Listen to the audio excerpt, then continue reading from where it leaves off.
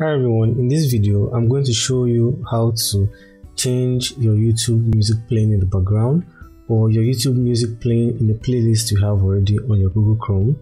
And let's say for instance you're on a particular website or your particular page and you're doing something different and you have a music playing in the background and you want to easily change this music without having to go back for instance go back to the tabs like this. Like I have this music playing right now The Weeknd Blinding Lights so in case I'm on a page like this now, for example, on a Google Chrome page and I'm working on something here, maybe reading some particular articles, and I want to have a music playing in the background, like I have one already, and you want to change the music or you want to pause the music or you want to rewind or replay the music again, I'm going to show you how to easily do this without heading over to the, without going back to the tab where the music is and having to pause it or click on next or pause it again or play or whatever.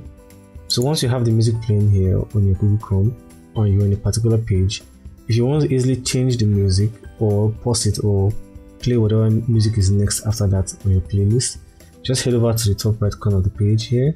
You should find something like this with a music icon or a logo. All you need to do is just click on this. And once you click on this, you would see a drop down uh, menu here showing you whatever videos or music you have playing on YouTube in the background. And here you can easily pause the music.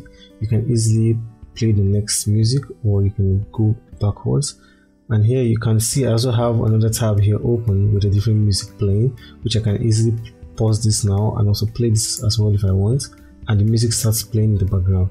So it's very simple here.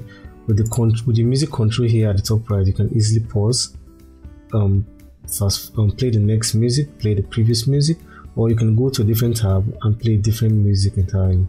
Okay guys i hope this video was helpful and easy for you to understand. Please let me know if you have any questions or problems in the comment section. If you enjoyed the video please give the video a like.